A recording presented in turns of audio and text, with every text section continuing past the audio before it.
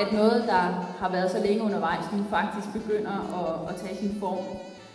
Og øh, jeg ved jo, har jeg lært af folk, der har mere forstand på dans end mig, at en dansesal, den skal være stor, og der skal være højt til loftet. Og da jeg kom ind og så det her, så tænkte jeg, nu håber jeg, at Cher er glad.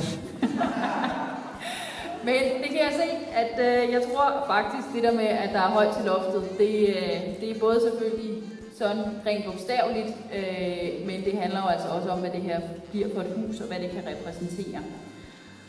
Og i det hele taget, når man går rundt, så kan man se, hvad det er for en transformation, det her, den her bygning den er ved at genleve. Hele rummeligheden i den her store sal kan vi nu se, og det er lige før, at jeg sådan kan fornemme tilskuerrækkerne opad der, og en sal fyldt med forventningsfulde publikummer, der sidder og venter på, hvad, hvad de dygtige dansere kommer til at levere herfra. Huset og byggeteamet længe leve. Hurra! Hurra!